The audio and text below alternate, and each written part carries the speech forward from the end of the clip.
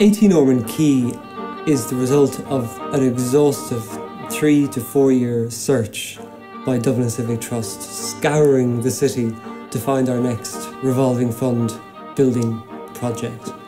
A lot of people know our former building, uh, Barnwell's shoe shop on Four Castle Street, which we restored uh, about 15 years ago.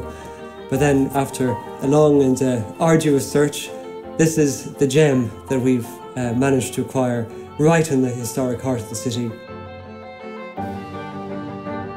I think this building at Ormond Quay, fronting onto the River Liffey, in many ways is witness to a thousand years of the city's history and evolution.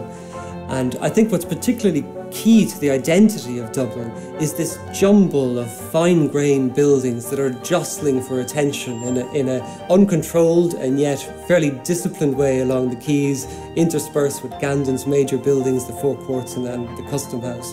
And we tend to look at those, the bookends, rather than looking at the grain in between. And this building represents that in its entirety.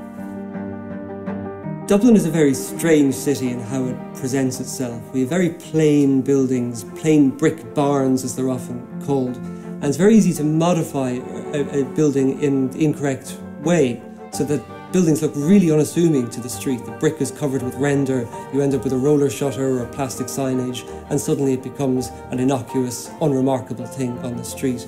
And yet, it's when you go behind these facades that you realise that so much hasn't changed in a lot of cases, and this building is just an example of that. We have a beautiful mid 19th century building at the front that has earlier layers in it, a much older 1760s house positioned to the back.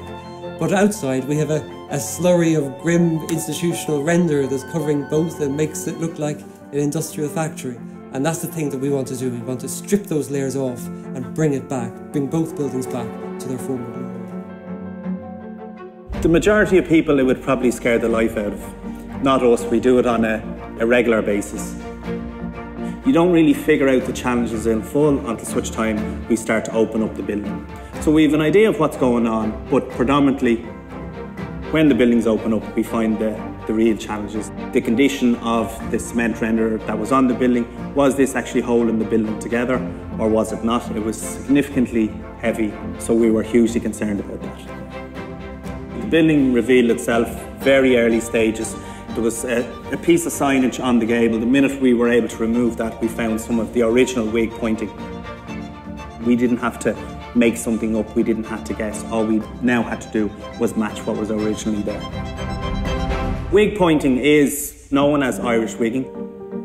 It's different from the point of an English tuck pointing, it's done in reverse. It is particularly skilled. There is a lot of it done around Dublin city. The bricks wouldn't have been laid as, as sharp as they, as they would be nowadays, and this was a way of showing accurately gauged brickwork.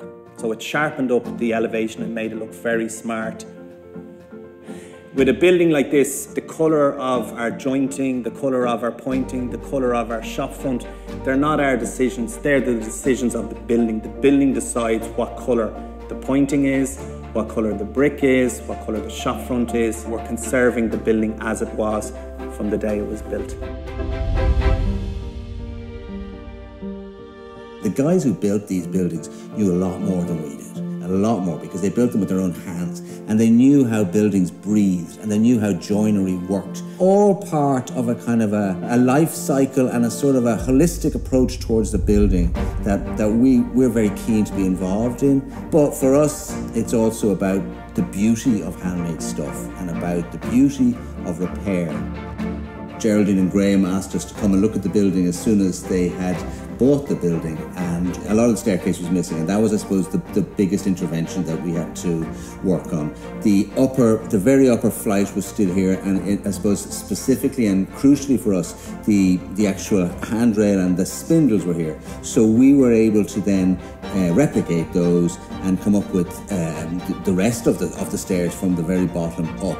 Um, so we were able to use this exact kind of shape for the handrail. It's a mahogany handrail. It's cut across the grain so that you get this beautiful flare in the mahogany. I'm even looking at this while I'm here and I can see the little rib that we've put into the bottom. You know, that could easily be left up. Why, why would you bother doing that? But you can read it.